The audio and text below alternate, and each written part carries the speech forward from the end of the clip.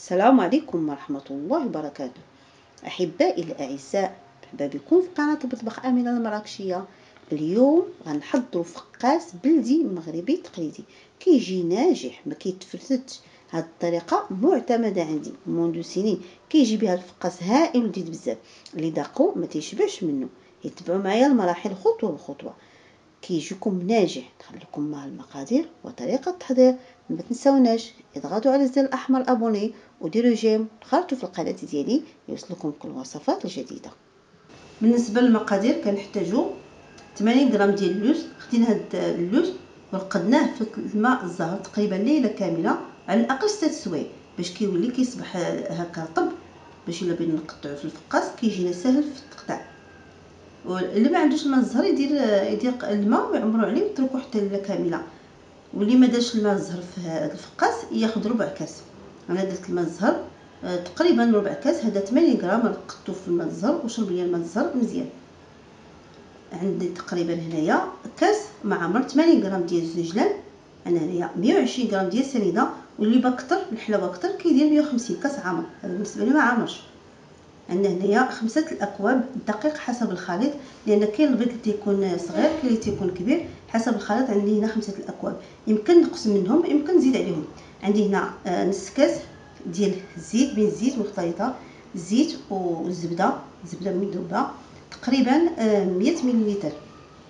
يعني هنايا ساشية تاع الخميره خميرة الحلويات آه، قرصة ديال الملحه عندها ساشية ديال الفاني اربعه الحبات نتاع البيض.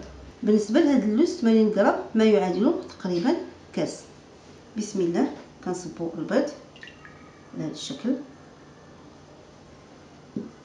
كنصبوا السكر.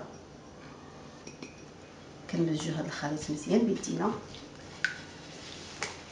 من بعد ما مزجنا سنيده مع البيض مزيدان الآن غنصبو الزبدة ونمزجوها كذلك مزيان. كنبقاو نمزجو بعد ما مزجنا البيض والزيت والسكر كنصبو فانيا. قليل من الملح قريصه الزنجلان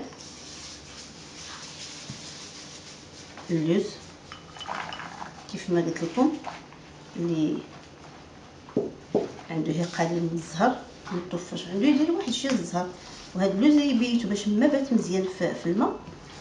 كيبات كيرطب باش الا بغينا نقطعوه كيسهل علينا التقطاع ديالو. كنديرو الدقيق كنصبو قليل من الدقيق كنصبو فوق الخميرة على هذا الشكل وكنبقاو كنمزجو.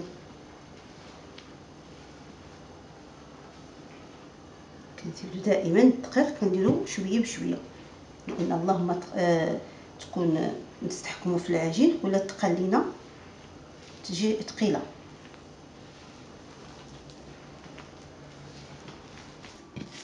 بعد ما جمعنا العجين صبحت على هذا الشكل راه ما ما والو. غير كنجمعوها كناخذوها كنقسموها. الدقيق راه خدا ليا 500 غرام. هي هذيك ما زدت عليها ما نقصت عليها تقريبا. كنقسمها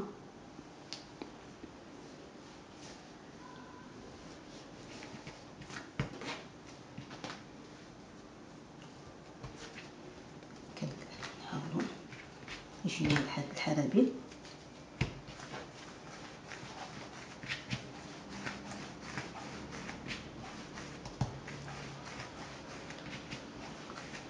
كندير غدا على هذا الشكل. شكل واحد تقريبا. هانتوما كي كتلاحظوا. وكنولوها في الطاوه بعد ما شكلنا الحرابين اربعه الحرابين نفس القياس الآن غنوضعوهم في الطاوه بسم الله كناخذ هاد الصفار البيضاء. بهذا الشكل. واحد قليل من القهوة. كتكون تقريبا معلقة كبيرة. وكنمزجو مزيان على هذا الشكل. وكندهنو قبل ما ندهنو كنحاولوا تنمددوهم بعض الشيء باش ما يحاولوا يتشققوا لينا على هذا الشكل. هانتوما. كنحاولوا ندهنوهم بسم الله. كنحاولوا ندهنوهم على هذا الشكل.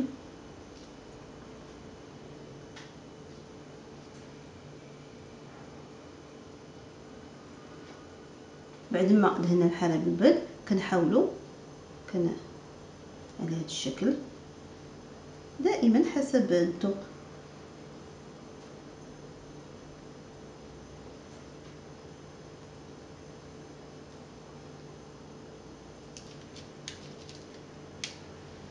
الآن غندخلوه للفران الفران. كي ما كيكونش سخون بزاف كيكون وتتكون النار مهيلة باش تيطيبوا على خاطرهم باش ما يتفرقوا علينا من الفوق. وكنراقبهم كيطيبوا غير نص طيبه بسم الله. بعد ما خرجنا الفقاس من الفران وطيبناه طيبه هانتوما كي كتلاحظوا طيبناه شوية من التحت وطفينا عليه النار من التحت وحاولنا نشعل النار من الفوق. طاب غير واحد شوية يعني تقريبا حتى تشد راسو. هانتوما كتشوفوا تلاحظوا هانتوما كتلاحظوا بأن الفقاس راه ما مشقق ما والو لأن ما جهدناش عليه العافية. النار كتكون مهيله والفران ما تيكون سخون بزاف تيكون حتى هو غير دافئ. الآن غناخذوه وكنوضعوه في هذا الزيف هذا الزيف فازك. بعد ما فزكناه عصرناه مزيان وضعناه لهذا الشكل. نادي.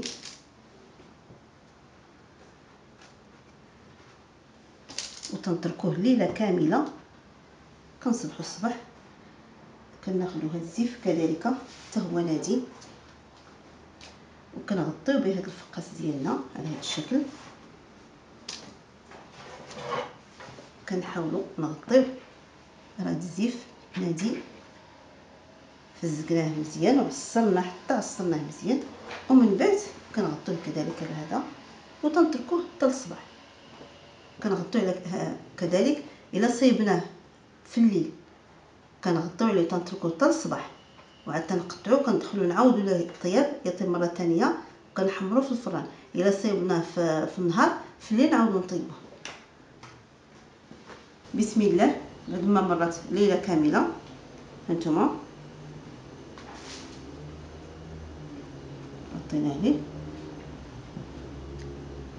الان غادي نحاولوا باش نقطعوه على هذا الشكل. الان غنحاولوا باش نقطعوه بسم الله. كناخذوا هذا الفقاس من الضروري باش يكون عندنا موس ماضي. باش ما كان الموس ماضي راه كيساعدنا باش كنقطعوا هذا الفقاس. كناخذوا هذا الفقاس على هذا الشكل.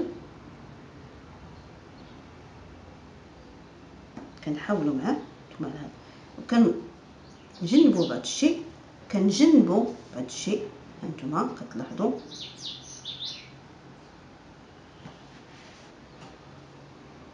كنبقاو كنقطعوا منها لأن من ضمن الفقاس باش ينجح لينا الموس يكون ماضي.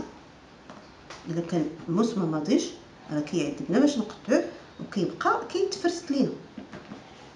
هما الشكل ديال الفقاس كي كيجي حتى في الداخل ما كيكونش خضر. ها هو الشكل قطعه أخرى هنا الشكل ديالو كنستفوه في الطوا وكندخلوه للفران. كنبقاو مستمرين حتى نكملو الكل. نتوما كي كتلاحظوا حيت يكون عندنا الموس ماضي راه ما كيتفتش لينا. بعد ما وضعنا الفقاس في الطاوه استفنا على هذا الشكل كنشعلوا عليه النار وكنراقبوا حتى تيطيب ما كتكونش العافية آه، مهيلة ولا مجهدة تكون متوسطة وكنراقبوا حتى يتحمر لينا مزيان. الشكل النهائي ديال الفقاس جا على هذا الشكل بعد ما خرجناه من الفران كيجي رائع ولذيذ بزاف. كنتمنى يعجبكم وغادي يعجبكم. جربوه بارطاج من الأصدقاء ديالكم في الفيسبوك والواتساب. وشكرا. والسلام عليكم ورحمة الله وبركاته.